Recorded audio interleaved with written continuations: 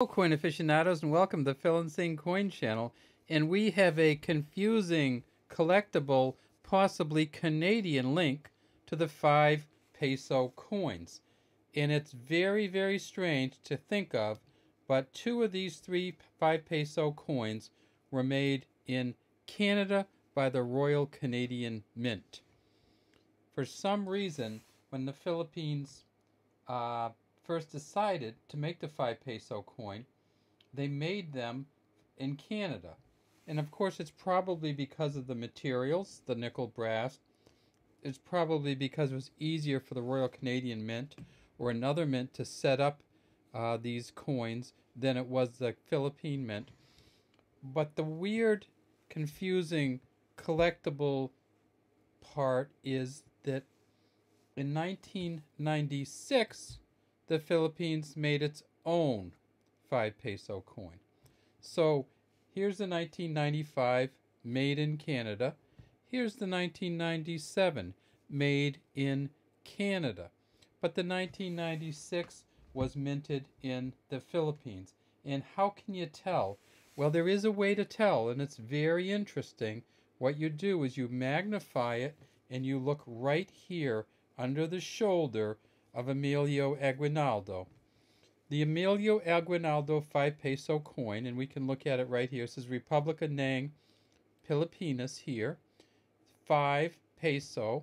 Down here it says 1996, and we have the scroll work around the outside. This coin has a Philippi the Philippine monogram on it, and the other coins don't. So look under the shoulder here, nothing. Under the shoulder here, Philippine. Under the shoulder here, nothing. So these two end coins were made in Canada, and in 1996, the Philippine Mint, the Manila Mint, uh, made its own 5 peso coin. Now, why did they make them in 1996 and not make them again in 1997? I don't have a clue, other than maybe they just couldn't make quite enough. I think once they moved in 1995, so this 1995 is the first of the 5 peso coins. They changed it from a 5 peso paper money bill to a 5 peso coin in 95. I think they thought they could mint enough in 1996, but it turned out that they couldn't. And so in 1997, they went back to the Royal Canadian Mint. And then 1998, they did about half and half or some portion of them were still made in Canada. So when you're trying to identify them, again, simply look right here and you'll see that this mint mark indicates that they were made in the Manila Mint in the Philippines. Now, let's look at the back of them. Is there any difference on the back of them? And, and there isn't. Um, this says 1993, and that's the year that the central bank put out this series of coins.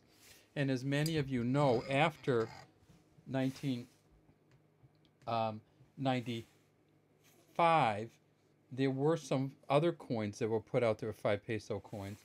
The uh, Flora and Fauna series obviously came out also, but this says Bangko Sentral Nang Pilipinas. Same thing, Bangko Sentral Nang Pilipinas. Both of these are nickel brass. They weigh 7.7 grams, are 27 millimeters in diameter, and 1.87 millimeters in thickness.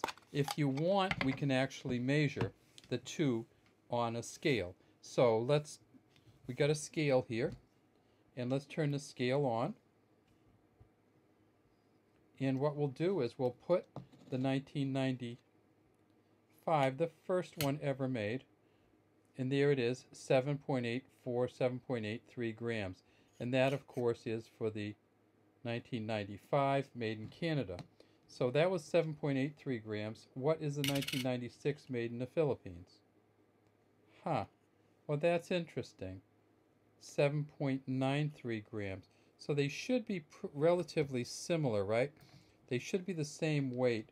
This one's a little beat up, but I don't, and maybe it lost some of its weight.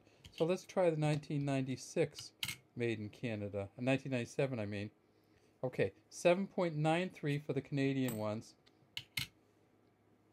7 point for the Canada 1997. 7.9192 for the 1996, and then it turns out the 1995 seems to be a little bit lower, one tenth of a gram lower.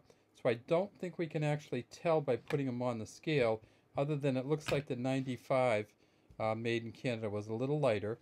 The 1997 and the 1996 both weighed the same, but this one was made in Canada and this one was made in the Philippines. All right, that's all we have today from the Phil and Sing Coin channel. We love to have you subscribe to our channel and leave any comments you might have in the comments section. And when you get your 5 peso coins from the 90s, look for the mint mark under the shoulder right here.